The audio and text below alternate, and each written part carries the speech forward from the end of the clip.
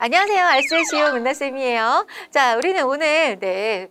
폴리페서 그리고 소셜테이너라고 하는 사람을 가리키는 말을 한번 알아보도록 하겠습니다. 자 일단 폴리페서라고 하는 건 poli 즉 politics 그리고 교수 professor라고 하는 두 개의 말이 합쳐진 그런 말입니다. 즉 정치하는 교수라고도 볼 수 있겠는데요.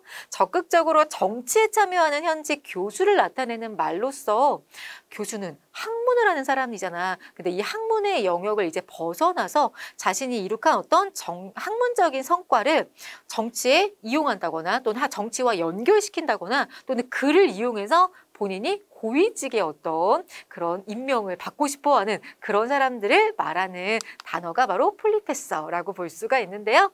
대학과 정치권의 양다리를 걸치는 이런 폴리페서로 인해서 그치 대학 교수가 아이들을 가, 학생들을 가르치는 것 이외에 너무 정치 쪽에 일을 하다 보면 당연히 학생들 가르치는 일에는 소홀할 수밖에 없기 때문에 학습법 친해가 나타난다. 뭐 이런 말들을 해볼 수 있겠고요.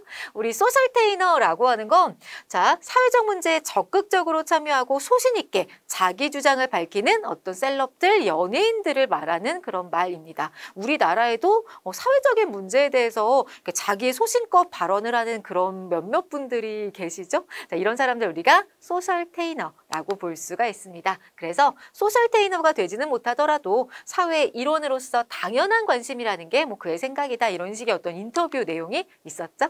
자, 어쨌든 적극적으로 정치에 참여하 는 현직 교수를 폴립했어. 자, 그리고 사회적 문제에 소신껏 발언하는 연예인, 네, 소셜 테이너에 대해서 알아봤습니다.